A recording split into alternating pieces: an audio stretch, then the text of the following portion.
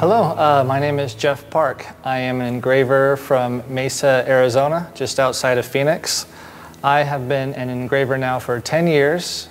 I was a jeweler previous to that. I have been engraving now full-time for one year.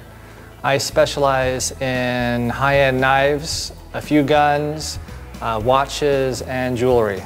I've been invited here to St. Petersburg, Russia. I am extremely grateful for the uh, hospitality and the wonderful kindness of my host, Roman. I am extremely uh, thankful to be here and I appreciate it very much.